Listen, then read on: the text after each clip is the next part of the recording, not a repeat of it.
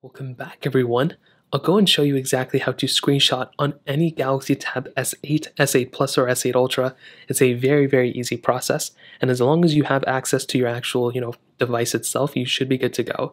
Now the first thing you want to do is you want to locate the power button and the volume buttons on your specific tablet.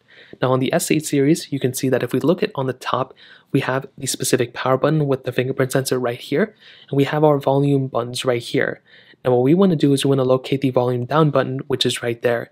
And all we have to do is go ahead and click simultaneously the power button and the volume down button at the same time. You just want to click it in, and that's pretty much how you take a screenshot. So I'm going to go ahead and replicate this right now. So I'm going to go ahead and literally just click on these buttons like this, and you will see that the screen will kind of like wink at you. And that's pretty much all you have to do. And the screenshot will be taken if you can see that. That's pretty much all you have to do. Now, if you want to see the screenshot, all you have to do is go and click on the gallery app right here, and you'll be able to see all the screenshots right there that you've taken as well as all the other images. So what you can do here is you can click on the image, you can go ahead and, you know, edit it if you want to, you can share it out, you can do whatever you want to. If you want to share it, you click that share option right there, and you'll basically be able to share it via Google, Facebook, Instagram, so many different options that you have here, and that's pretty much all you have to do.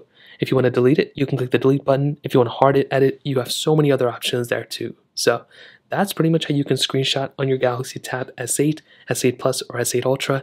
If you guys have any other questions or anything like that, let me know in the comment section below. Hit the like button, that would mean so much, but definitely hit that subscribe button.